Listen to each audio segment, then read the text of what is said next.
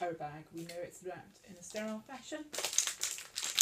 We want to open it up, checking this one is actually in date. You may get an out of date one in exam, but you can say that to the examiner, it's out of date. That's fine. I'm quite feeble at getting these open.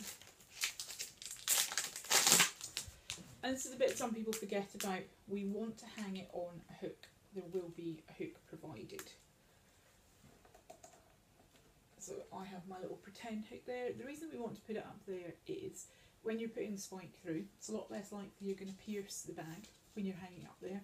Also, if you're in practice, once you've removed this port, it can become unsterile. So if you lay it on the table, remove the port, you can guarantee somebody will bring a dog in that's either wet or it pees the table, and then you've got a bag you can't use.